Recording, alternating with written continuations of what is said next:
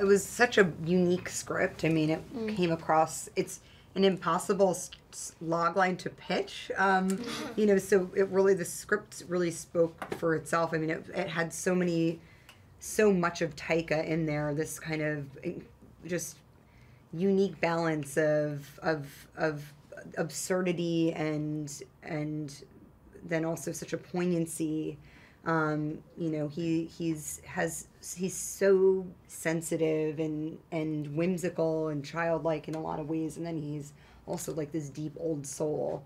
Um, and all of that came across in that in his writing. And you know even though it was a story that was very difficult to pitch because it sounded you know so out there when you read the script you really got a sense you knew that it was going to work because it, it was coming from taika's voice I'm not gonna lie, I was a little bit intimidated because I was from just because you know I've admired her work for a really long time, and um, but she's full of so much kindness and generosity, and I think the entire crew and everyone on set really felt really felt that felt that you were professional and you weren't you know obsessed with the whole idea that you've done done so much in your life and achieved so much, but you're still a human being.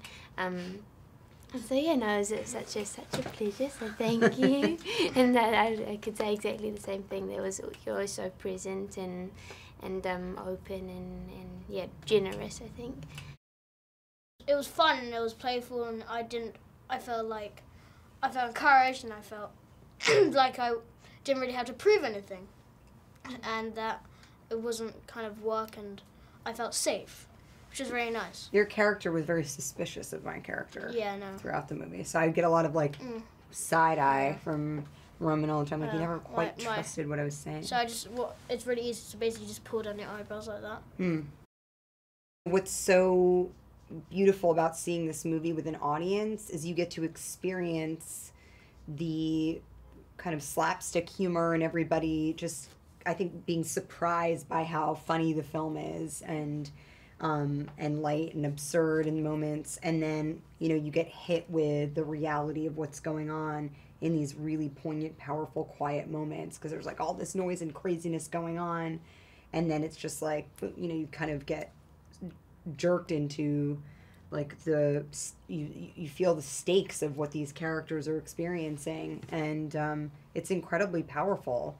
You know it's a i think taika uses humor in a way um, to kind of invite the audience in.